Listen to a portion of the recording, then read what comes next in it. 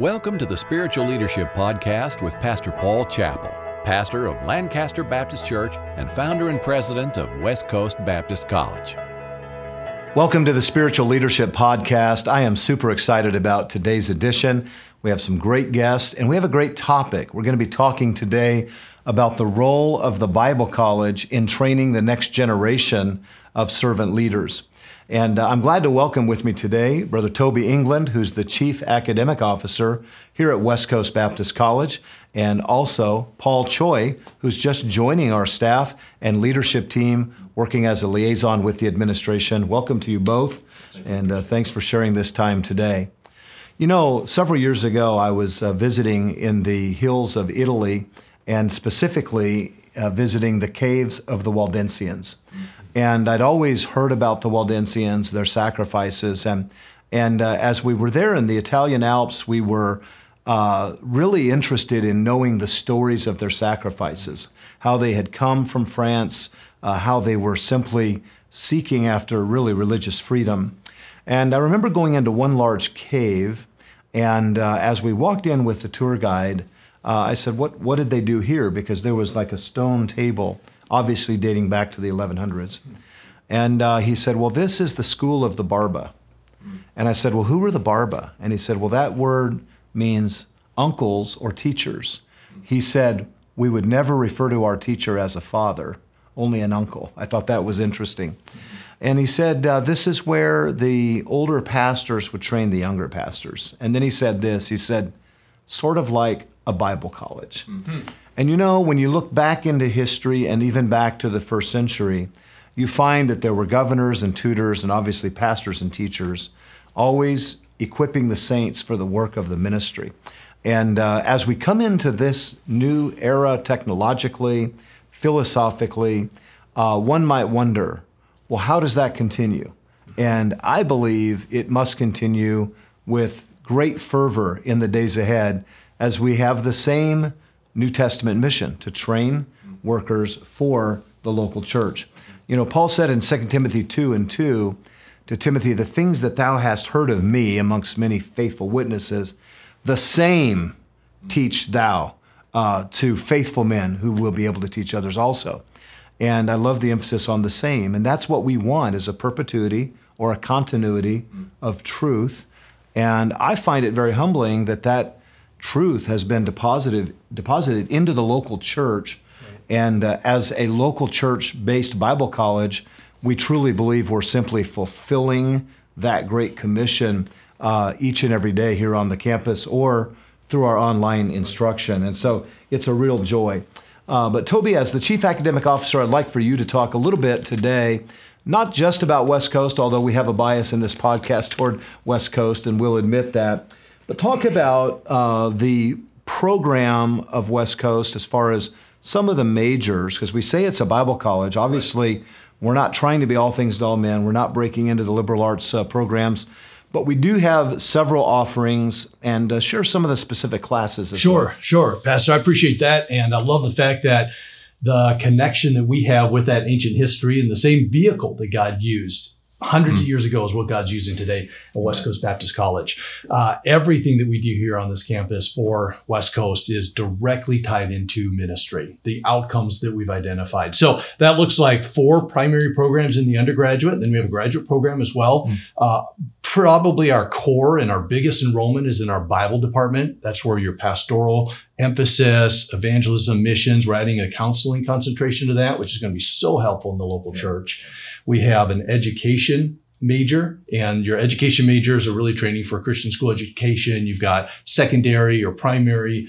You have a visual arts program, which we're really excited about the visual arts program and have seen, as you said, technologically, as, mm-hmm. as we try to do the same thing in this generation that really involves some technology now. And we want to do it well. Right. we want to do it with excellence. And there's not really a lot of excellent training in that area. And we god has brought together a program here mm-hmm. that is doing that in such a strong way and then a music program as yes. well mm-hmm. in all of these you can see just directly tied to the local church and we know that because right. when we look at our alumni and when we talk to people who are hiring our alumni mm-hmm. they're doing it and they're doing it well and they're doing it in the context of local churches around the world well Well, as you know, this this past uh, month we saw a tremendous uh, class go out into the harvest field, um, yeah. of which 100% uh, of them were placed in local church-based ministries and without debt because they didn't have student loans. We're really, really thankful for that.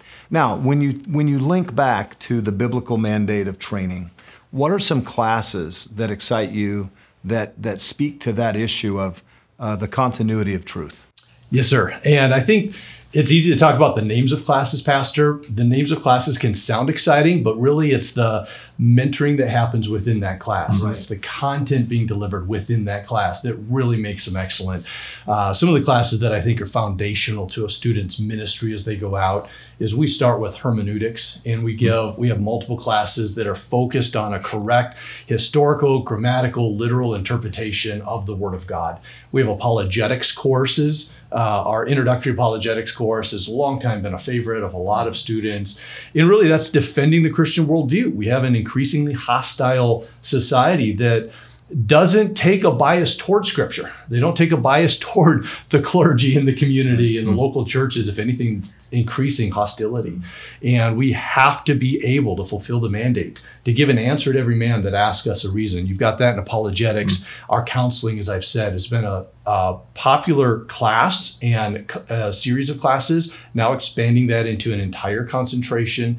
Um, and I think in different programs, you'll have different outstanding classes, but what we focus on is correctly interpreting the Word of God, effectively delivering the Word of God, and thinking properly with a Christian worldview in mm this generation, and, and overarching all of that in academics and in their practical experience, especially on campus, but even online, we embed that with uh, evangelism, soul winning, outreach, discipleship, being incorporated into their local body. And for students here, they get a chance to do that at Lancaster Baptist Church. Which is really exciting to see that development firsthand. Now, as the chief academic officer, you know you can lay out these uh, course descriptions and uh, these various different departments, but then there's a constant culture of assessment that we live with. Yes, and maybe share a little bit of your passion to help teachers become successful? Yes, sir. So, one of the things that is the way we do that is we identify what do we try to do as a as a college. Uh, what do our graduates need to do? What's the heart? And we we really divided that into three distinct realms and we call it the head the heart and the hands. Mm-hmm. so students are here we're training their head we're helping them think well and think biblically. We're training their hands. They're skilled in areas of of whatever their field is music or their their english grammar needs to be right or their ability to run a camera and do a live stream service that's their hands and their heart. That's the chapel, and that's the the heart of the instructors. And I'll be honest, it's the heart of the student body. It's a, a spirit on campus of ministry and of, of dedication to the Lord. So how do I measure that? How do we how do we make sure that hmm. we're going in the right direction? So we've got these outcomes. Each program has we call them learning outcomes. If you've ever taken a class at West Coast, at the beginning of the syllabus, you'll see there's a rubric and it outlines okay here's what we exist to do as a college. Here's how this class helps. And it hits these and everything that we do pastor has to align with that. Yep. if there's a class that doesn't align with our purpose we don't teach it. Right. and if there's a class that's needed to fulfill our purpose we develop it. And it all ties back to the mission that we have as a college. And you know when you think about uh, head heart and hands uh, i am passionate about the matter of the heart. In fact uh, the first book that I wrote back in 1988 was entitled A Heart for God. Uh, because when the heart is pure, the vision is clear. And I, I, find this in college faculty and in any ministry environment that uh, if the heart isn't right, uh, it's going to come through in a sarcastic spirit, it's going to come through in ill preparedness, it's going to come through in some negative form. And uh, we see so often today on social media in particular just uh, this passive aggressive sarcasm, cutting many times toward other ministries and so forth. Um, I certainly don't want any of that on the faculty of West Coast Baptist College. I want to have godly uh, men and women who are without guile and without canker and without some issue.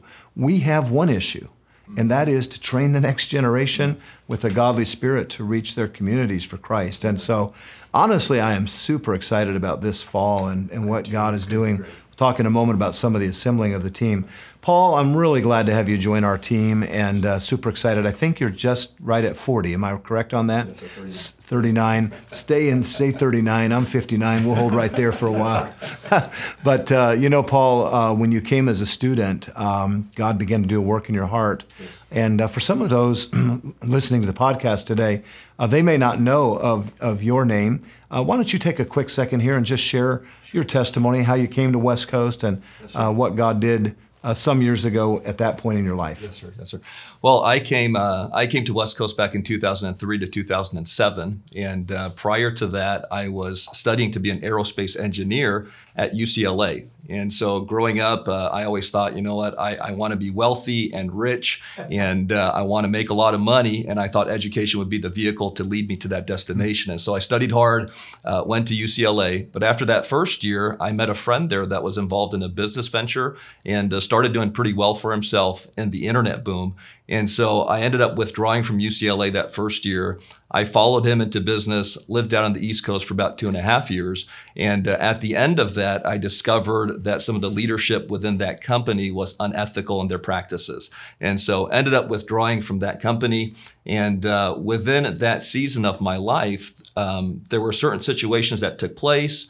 Uh, that eventually led me to West Coast Baptist College. And, and that was one of the best decisions uh, that I ever made in my life because that first year at the Bible college, uh, I came under the preaching of God's word. I remember chapel every single day and being convicted concerning my salvation. Uh, I grew up in a pastor's home um, and, and, I heard the gospel many times. I made a profession of faith when I was nine years old, but, but I realized when I was in Bible college that first year uh, that that was a, a, superficial decision that I made. I didn't quite uh, properly comprehend the gospel at that time, and I remember that first year trusting Jesus Christ as my personal Amen. Savior. And then that second year, the Lord uh, called me to preach the gospel of the Lord Jesus Christ. Uh, and so I surrendered my life to, to that call that the Lord placed upon me. Hmm. Uh, and then upon graduation, I went to go serve with my dad for seven years uh, as his assistant pastor, uh, pretty much doing everything from, from preaching to, to cleaning the toilets and, right. and uh, sweeping the floors. Uh, and then after seven years, the Lord opened the door for us to plant a church. And so we went on deputation at the beginning of 2014, and uh, we were able to fulfill uh, the need that we had within eight months. And then we started the Hillcrest Baptist Church about seven years ago on November 16th, 2014. And so it's amazing how fast yes, that's gone by. Yes, sir. Absolutely. You know, Paul, when you think about your journey uh, coming to West Coast, uh, working for your dad, who's a godly man that I greatly respect down in, in uh, Gardena, but uh, then going into starting a church, and I know as you transition into college work, you're still in the church ministry at this college, but leaving the pastorate, so to speak. And uh, you're leaving a strong work there, and we're excited about the future for Hillcrest. And, and I want to commend you for what God has allowed you to do. But now that you look at that through the lens of someone who's been in the ministry a while, uh, what are you excited about when it comes to standing in the lectern and teaching or you know, answering the questions of an incoming 18 or 19 year old. What are some things you look forward to this next semester? Yes, sir.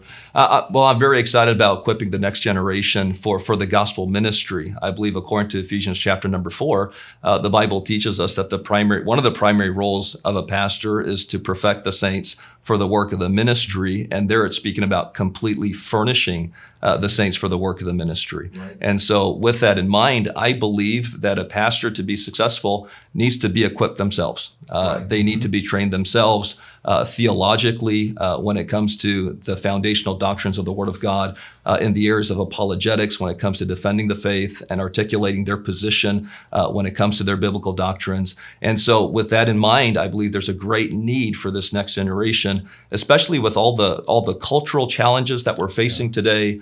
Uh, whether that might be the the uh, abortion movement or whether that might be the social issues, um, they need to know where they stand when it comes to the doctrines and how they can defend their position. And so I'm excited to help in that training process for right. these students. Well, I, I, want you both to know that you know when I look ahead to the next few months, uh, something that kind of gets my juices going is just uh, working with you guys in the Bible College ministry. And I know Dr. Goetsch, Dr. R, Dr. Shetler, others feel the same way.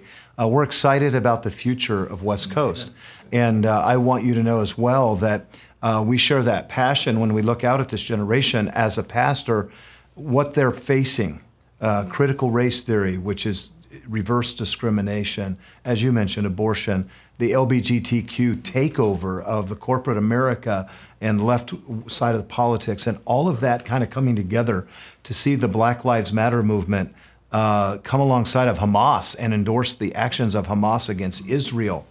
Uh, so we have a very different worldview that comes from the Bible, and our students need to have strong convictions. And uh, and I think that you all are, are really placed well to help prepare.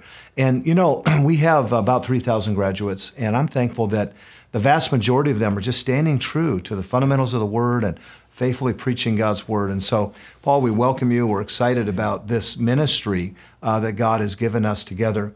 Now, Tobi, when you look at the academic side, I want to come back to that because sometimes people think, oh, Bible college, you know, and they think a local church Bible college that we mostly major in, you know, how to pass bubble gum to bus kids. And we, we are unashamedly, by the way, running buses at Lancaster Baptist. I, I don't, uh, I don't uh, diminish the value of bus ministry. My wife was saved through bus ministry. So we involve the kids in bus ministry and we teach them how to, how to encourage the riders. But some people just think that it's all practical. And I want you to speak for just a moment about some of the academic rigors and uh, both from the standpoint of uh, evaluating faculty and training faculty, uh, as well as the examinations of the students and uh, what we do to maintain that integrity. Sure. And Pastor, I think part of that, or a big part of that, is the team that you've assembled. I think the people that we have in the classroom are uh, not only passionate about what we do here at Lancaster Baptist Church, but also experts in their field. And that really is what you want to right. learn from in the faculty uh, that's leading these classes. And we have uh, terrific uh, team of people that work here. Right, and if I may interject, I think 25% of the class is taught by someone with a terminal degree. Every class taught by someone with a master's in their subject. And some of the new additions, besides Brother Choi, we're excited about some of the online with Dr. Stevens, Dr. Ivy, and others yes, that are coming into the in the classroom. And you're right. Uh, in the early days of an organization, you hire someone who maybe is not always working according to their proficiency. Right. But we have solid men and women in these classes I think of Dr. Debbie Demersion over the academics of the Terrific. English program. But, yeah. but go ahead and share a little bit about some of the people, some of the program, and some of the goals we have. So what we've seen is that grow. I don't think that you would say, you know, 20 years ago we were there in all of those areas, right. but God's continued to grow us, and the trajectory is while our passion, our heart, our mission is is the same, we're not doing less of it. We're doing more of it. We're doing it better. Mm-hmm. And I know when our graduates go out, we want them to be prepared uh, in wherever the Lord takes them. If God puts them right in the middle of a college town, I was with one of our alumni uh, about last year and we were doing a conference or a, a, meeting and he was in a college town. He had people from this secular university and then he had open mic session at the end. He was like hey let's ask some questions. And you know what? Our students are going to have that more and more and more. Right. So uh, how do we prepare for that? Well we do that by developing our faculty by making sure that we have uh, the best people possible in the classroom. So we do as you said we have 25% of our classes taught by terminal degree. That's generally going to be a doctorate uh, uh and those are uh, doctorates that are uh, rigorous and that brings that and that helps us internally with staff mentoring. Right. so we have people that are coming in that may be new to teaching. They're going to be able to sit under somebody that's an expert. Uh, all of our teachers have to have earned masters uh, that are recognized masters in their field. mm-hmm and you know what that's done? That's helped us give a better product. Mm-hmm. Uh, it would be easier to not do that, wouldn't it? Sure. It'd be sure. easier to not pay for the degrees. It'd be easier because a lot of these people we're not bringing in because we saw them, you know, an ad in the newspaper. Right. These really, for the most part, are people that are already recognized as having the chemistry, the mm-hmm. commitment to the mission, and then we've added to that a layer of excellence. Mm-hmm. Um, you said something about assessment. We see that as students leave, they get a test on Bible knowledge when they enter they have a test on Bible knowledge when they yeah. leave, and that's not really a test for them, Pastor. That's, that's for, us. for, us. and you know, a lot of times uh, because we do the oral examinations for the preachers, uh, I've been told by dozens of pastors who've sat on the ordaining councils, these guys knew their stuff, and it's because we test them specifically on doctrine. Uh, we want them to be able to rightly divide the word of truth. We want them to be committed Baptists. We want them to know our Baptist history. We want them to know the distinctives of our Baptist uh, convictions, whether it's eternal security, whether it's uh, dealing with Bible authority only, and, and so forth. So uh, that's important. Um, I do believe that uh, becoming accredited with TRACS some years ago now uh, helped us, but we were questing already for uh, excellence in these areas. And uh, I'm thankful that now we have some peer review. And I'm not, I've never been afraid of peer review. Uh, there's no government control on us because we're with right. an accrediting body. We could pull out of that in a moment's notice. But what it does provide for us in this LBGTQ environment is some solidification with like minded institutions on some of these issues that threaten our religious liberty provides some, some legal uh, companionship there, but also it provides peer review where people are able to come and observe us from the outside. And, and there's been an iron sharpening iron there, and uh, I'm very thankful for it. Uh, we have uh, remained committed. And, and one of the biggest challenges for me in bringing guys on board and gals on board with our team has been we want folks that do love the bus ministry. We want folks that are Baptist, that do have a soul winning time, who love the TR and, and, and use and respect uh, the King James Version and thank the Lord for the preserved word. And all of these things together comprise someone that is academically, spiritually, and scripturally able to equip. Uh, we don't want people who are uh, belittling soul winning or belittling uh, the TR or belittling holy living. Uh, in such, we say a Bible college should be a place where people are being encouraged to revere God, God's Word, the Christian life, the local church has a holy life. And back to what you said at the very beginning, the faculty matters and uh, people that stand behind the lecterns. And so uh, I really appreciate that. Now, with respect to some of our benchmarks, though, with TRACS in particular, uh, Tobi, one of your jobs is to gear us up for those assessment times. Why don't you give us that schedule a little bit? So really, those uh, benchmarks, those studies, aren't something that we all of a sudden scramble to get ready for. It's just uh, team coming in and peeking in on what we're already doing. So we right. have these ongoing systems. I'll mention a couple. Uh, we every year looking at every class and we're assessing how well does that class line up with the outcomes. Right. And the chairs of the departments are really over that. Dr. Demergent right. in the uh, education department, uh, Rick Hauk and others. He'd be in the Bible. So we're looking at how well are we doing. We do a program review on a cycle and that's where the faculty get involved and we really we take a sample of student work and we just grade that on our rubric and ask how well did we accomplish? You talk about baptist distinctives well that's one of our outcomes. Right. well how we can't just hope that they do that. We've got to give them reasons. We've got to right. train them tell them what that is. So uh, we do that assessment and that's something that's ongoing. Um, so when a team comes and we'll have a team here in a couple years and they'll come in they're not going to look at something that we just created for them. Like right. we baked you a cake. What they're doing is they're coming in they're just peeking in on a process and, and sometimes we talk about a culture of assessment, right. but really it's more than a culture of assessment, Pastor. It's a culture of excellence mm-hmm. because that assessment is to lead us to identify, you know what, we didn't do as good as we can here. And sometimes, sometimes it hurts, yeah. yeah. But but because we're constantly involved in that, uh, that ongoing. We're process. keeping right.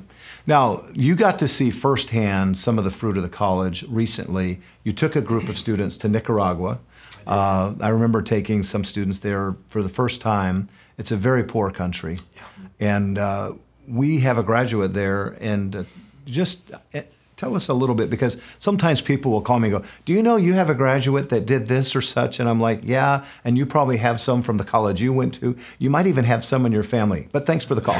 so we already know we have some graduates that don't do it the way we teach necessarily, uh, and that's between them and the Lord. But, but again, the majority are taking the model that they're getting at Lancaster Baptist and West Coast Baptist and going out. And you saw that in a special way in Nicaragua. And I want you to tell us about that. So it was the Portillos that we were with, special family. Uh, as you said, alumni here from the college. His wife attended here as well. And there were so many things just on a personal level. I'm always excited to introduce students to that mm. setting and to get them, allow them to see. Sometimes it's the poverty, sometimes it's the opportunities for ministry, sometimes it's the openness, sometimes it's they've never been in a socialistic or near mm. communistic country, right. and just the the contrast. Uh, so we stayed for 10 days in a hotel, nicest in the area there in Leon, one of the nicer ones. And but nicest have, in the area. It didn't have hot water. no. you, know, it, you know, it had the critters running under the door sometimes. That's just what it was because of where we were. But you know what impacted me, Pastor, and every student on that trip, I think it was a catalyst uh, about two weeks in their life, is the joy and the authenticity of the Portillos. Uh, they don't feel like there's nowhere else in the world they want to be. Uh, there's nothing else they'd rather do. And, and you know the, the inside story on this. They stayed through the protests a couple years ago. He had people running in front of his home with fully automatic weapons. And, you know, those moments you question do I have my family in the right place? Yet they mm. really felt like this is where God had them. And uh, they, the work that they're doing is just incredible. The number of nationals that showed up for soul winning, uh, just it's strong, it's passionate and the missionaries themselves, the Portillos, they have that authenticity, the joy. Mm. Um, it was a complete reset on Amen. so many years of, of, life. And for me, as faculty, made me want to come back and do it again. Yeah, oh, doesn't it? Yeah, when you see the fruit of the labor that way. And uh, I know the Portillos are building a building. I think they're running two, three hundred already on Sundays, and so it's that's really the fruit. I told Dr. Rasmussen years ago uh, when he came, I said, look, our goal is not to build the college number attendance wise. Our goal is to send out laborers. You know, that's what it's all about. And so praise God for that. Paul, you're going to be working a lot with our alumni. and I know that having been out uh, as a graduate, there's a need sometimes for encouragement, uh, maybe for special events with like minded alumni. Uh, tell me a little bit about uh, what you believe will be a blessing for the alumni in the days ahead and uh, some things you look forward to doing as far as encouraging that. Well, I, I, think one of the greatest encouragements for me as an alumni when I was serving as a pastor uh, was the spiritual leadership conference that came up every mm-hmm. single year. And so I know the next one's coming up here in October the 3rd through the 5th. Right. And uh, just a time to be inspired from the preaching of God's word and uh, also from the music during that time. Uh, but then also the, the fellowship is so encouraging. I think sometimes when we're serving in the ministry, we can kind of get uh, what some people call the Elijah syndrome, where we feel like we're the only one out there serving the Lord and where's everybody else? Yeah. Uh, but then we come to a spiritual leadership conference and we have some alumni gatherings together and we realize, hey, there's a lot of us out there pressing forward in the work of the Lord Jesus Christ. Right. And so it's extremely encouraging. Uh, and then, of course, it's very equipping uh, as we think about the, the sessions. It's very pertinent and practical. And uh, I could always remember taking back those principles, applying it to the ministry uh, right away, and uh, seeing how the Lord works in that fashion. And so that's always been a huge encouragement to me. Well, our national alumni meeting is always on the Tuesday of Spiritual Leadership Conference, and we certainly want to invite every one of the alumni to be a part of that. And then, of course, Paul, as you uh, get to know more and more of the alumni, uh, I'm excited about just keeping a little better track of where they are, what they're doing, and I know you're going to be a great encouragement to them. And uh, we're excited that you and your wife and family are here. Yeah. Uh, I do want to just take uh, this moment as well, just to just to maybe uh, summarize some of this discussion today about local church Bible college, about training laborers for the harvest, to say that Jesus Christ, our Savior, had one prayer request. Mm-hmm. And you guys know what it was. He said, Pray ye therefore the Lord of the harvest that he will send forth laborers into his harvest. And the mission of Lancaster Baptist is training laborers for the harvest and of West Coast Baptist College training laborers for the harvest. That's what it's all about. Is is getting more people out into that harvest field.